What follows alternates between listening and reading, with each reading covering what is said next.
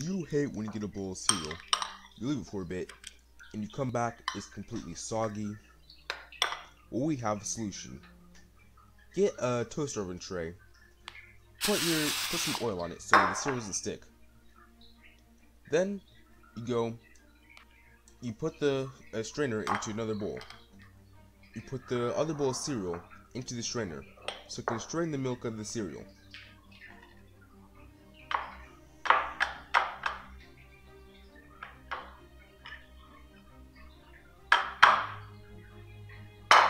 After that, you'll push the cereal down with the spoon so it can squeeze all the milk out, so it can use the milk again.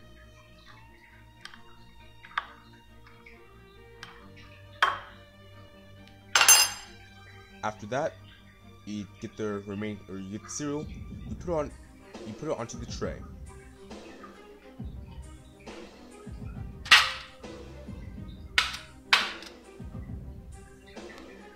Then once on the tray, you get a spoon and you spread it around so it gets all the areas.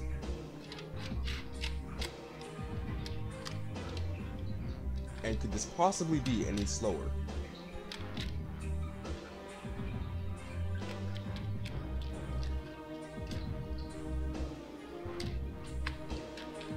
Any minute now.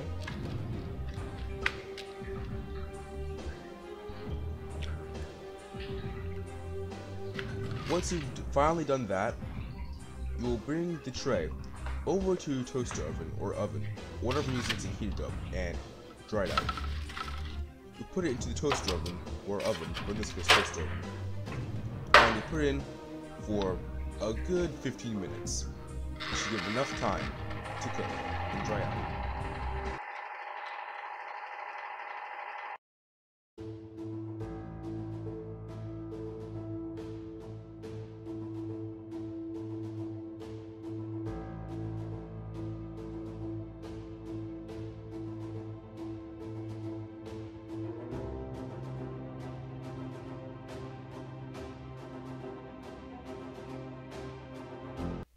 After your cereal has finished drying out, you'll bring it over to the bowl of milk.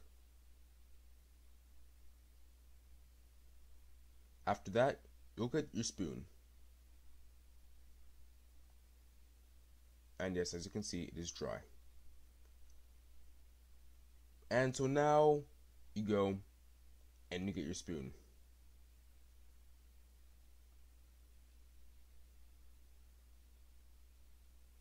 Then you scrape it into your bowl of milk.